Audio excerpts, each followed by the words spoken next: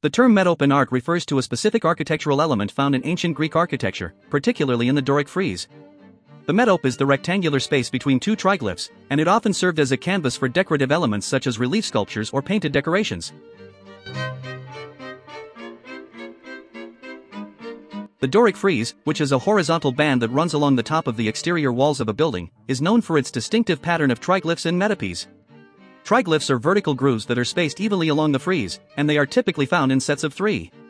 The metopes, on the other hand, are the rectangular spaces that appear between the triglyphs.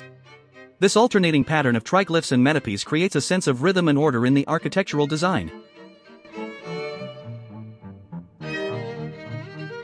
One of the most common ways in which metopes were decorated in ancient Greek architecture was through the use of relief sculptures. Relief sculpture is a technique in which figures or designs are carved into a flat surface, creating a sense of depth and dimension. These sculpted metopes often depicted scenes from mythology, history, or everyday life, and they provided a means of storytelling and artistic expression within the architectural context.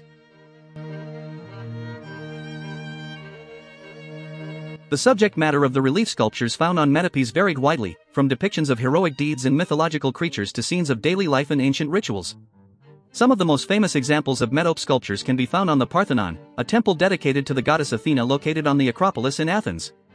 The metopes of the Parthenon depict various mythological and historical events, such as the battle between the centaurs and the Lapiths, the sack of Troy, and the Panathenaic procession. In addition to relief sculptures, metopes were also often adorned with painted decorations. The use of paint allowed for a wide range of colors and details to be added to the metopes, enhancing the visual impact of the architectural design. Painted metopes could feature intricate patterns, vibrant scenes, and elaborate designs, adding to the overall aesthetic and symbolic significance of the building.